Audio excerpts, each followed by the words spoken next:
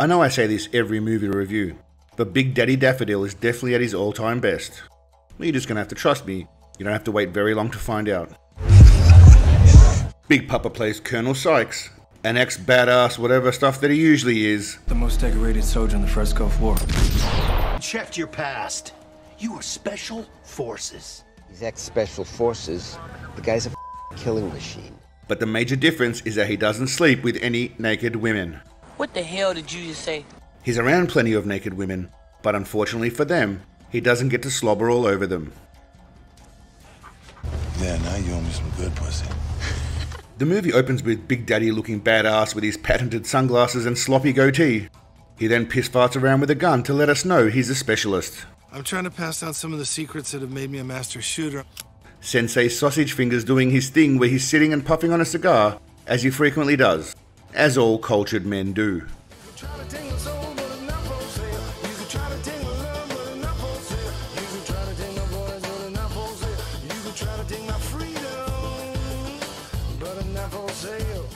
There's a meeting of bad guys, and you know Sensei Bubbly Balls is gonna sh- over their parade. Our hero is just casually landing headshots on about 39 people. He can not only do this with a sniper rifle,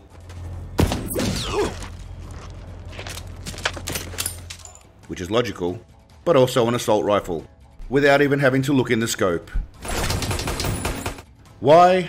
You know, being a lifelong practitioner of the martial arts, I try to teach everyone not to fight the recoil of the weapon, more to become one with the weapon and let it be an extension of their body. Seagal is pissed off because these blokes are taking all the and with that, the real possibility of all the women. I want you to take me someplace where I can find some or some women. As a man who does his own stunts, Big Papa insisted on not using a green screen or any doubles for any parts of this scene. It's definitely him running in and not a scene cut. And as you'd expect, a stunt double is definitely required to just stand there for a moment in the dark. Why exert yourself, big man? You're right about that. Between the cost of the helicopter and Seagal's fee and lunch allowance, this movie must be some high budget production. Sue from the Debt Collector makes an appearance as the lead cop in this career changing flick. Frenchie, please, come on. Okay, come on, please.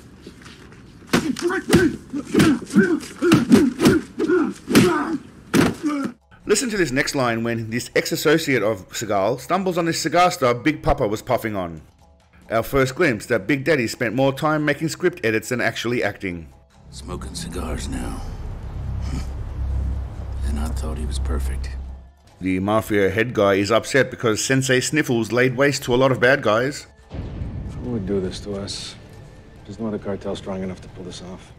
Big Daddy Beefcake eats cartels as snacks before hitting the buffet, bitches. You obviously do not know who you are f***ing with. Cut to Sensei Sandbag's house where he sits there like a boss and women dance around on poles. Wait, wait, sorry, nope. That's just a standard strip club scene that he insists on because they are essential to the movie. Is this scene going to be obscenely long and drawn out? Of course. Is it likely Big Daddy was perving on the dancers rather than playing his role? Yeah. Am I right that he definitely had a big part to play in including this scene? I haven't been wrong yet. Sensei's assistant comes in and tells this fatherless lass that Big Daddy Boner is ready for the next off screen audition that all women must endure.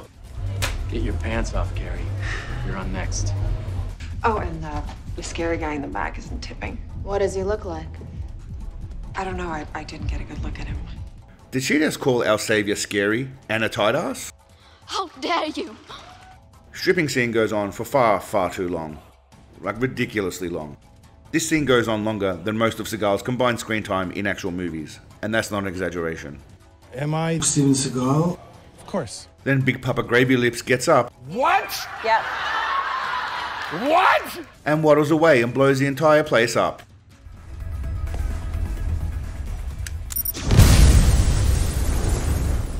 This guy wakes up hoping it's a dream, but sorry mate, you're actually in this shitty movie. Sensei Lard Tits shows up on the scene of the crime, and like the nimble athlete that he is, disappears like the wind when spotted.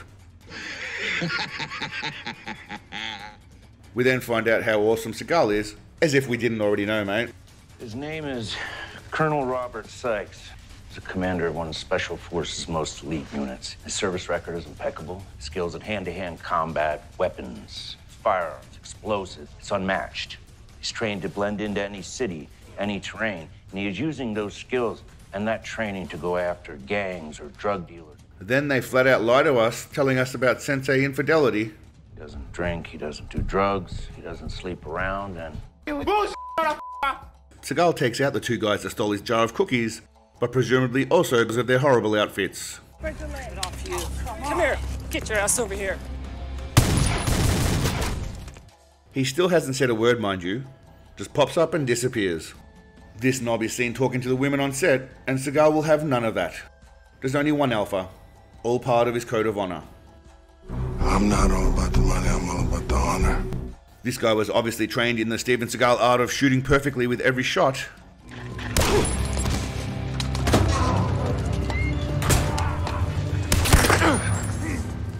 But not in the combat aspect, as he allows himself to take some punches.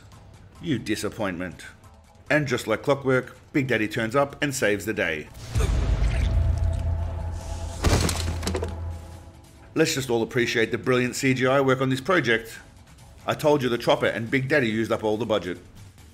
Sensei Snuggles comes in sounding exactly as you'd expect a white, Jewish, pure Mohawk, Italian, Asian, Russian, Mongol to sound. What's wrong with you, man? You're slipping. But you can't check your six.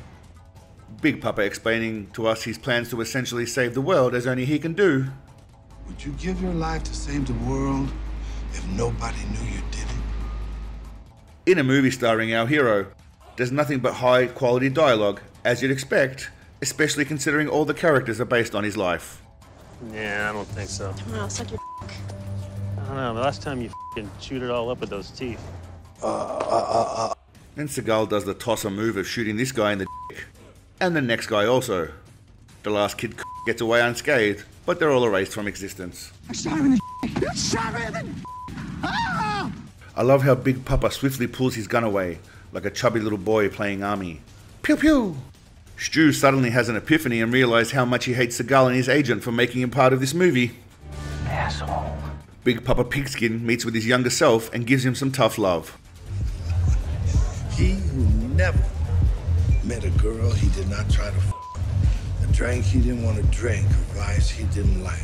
He also explains how he maintains those extended lovemaking sessions with women young enough to be his granddaughter.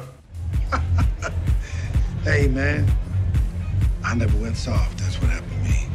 It's gonna get hard. I'm a, I'm a, I'm a, um, And then he proudly boasts about patriotism. But I'm not sure which country he's talking about. I still love my country. Vladimir Putin. Just in case you were wondering. I'm still an honorable man. I'm a Russian Mongol, and I'm Russian. Then Sensei Savior basically declares that he single handedly abolished slavery and freed everyone. Not in so many words, but it's Seagal. That's exactly what he meant. Slavery was the law, and if it wasn't for men like us standing up, it might still be there. He then continues to really scold his younger self for his past shenanigans and lets rip. Never went over the speed limit or cheated on my taxes. You drank, you lied, And you cheated. plus, You fucked everything that moved, foreign and domestic. Seagal convinces this guy to be his protege and subsequently makes him do this entire scene sitting down. It's a big part of the job, so you gotta show you can do it. He still does more action seated than Big Daddy does in most movies. Can I laugh in your face? The two main stars of the movie then discuss catching a glimpse of Seagal's earlier in the change rooms. I don't see anything. Can't be that small. The mafia boss decides to take a little look around and bask in the glory of being arrested, basically giving Sensei Sniper time to take him out. He's been accused of everything from prostitution to racketeering to murder. This may be the very last time we see him outside. We flash quickly to 75 miles away where Seagal sits looking both badass and gumpy as hell at his little perch. Now I know what you're thinking. Is it even possible for any man to be that great of a sniper? Well, let's ask him. See how it goes right where I want it? Yes, sir. Right there. Are you really as good as they all say you are? Every once in a while. Seagal is either getting ready to cut up his turkey dinner or slice somebody's throat. Either way, he's eating tonight. Then he pretends that he actually looks where he's shooting rather than just firing randomly. Big Daddy Drumstick is upset with his documentary film crew, and then he says probably the most intelligent thing he has ever said in a movie. And most coherent. Truth is subjective. Truth is absolute. People are subjective. Finally, our master gives us a hint for the New World Order where Seagalism will reign supreme. I'm just a man with a plan. Oh, it's a little regime change. Then, in a shocking twist, we find out that Seagal does exist, but isn't actually really doing anything in this movie. It's all fictional. So basically, like most of his movies. We've been after the wrong guy. Porter is Sykes. So even though we know Seagal isn't in the movie, we're supposed to keep buying this Fight Club ripoff nonsense on a rooftop? Seagal gets an itchy hand mid-scene. No need for reshoots. Big Papa takes a moment to give me props for my dedication to him. That was a nice touch, man. That's some cool shit. And then we're treated to a badass fight scene where it's definitely not a stunt double doing all the actual fighting from behind, and Seagal turns up just for the cool posing bits.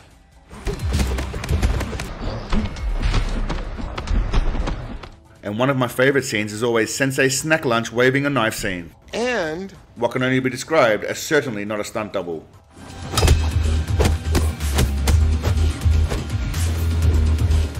All I have to say on this scene is that yes, obviously he did that stunt if he does all of his own walking scenes. Sensei Traitor is almost certainly projecting self-hate in this scene. Your family hates you. Your country's done with you. Some more knife waving before the cops come, and then the bomb is set off. No idea why this particular floor on this building was important. It really wasn't.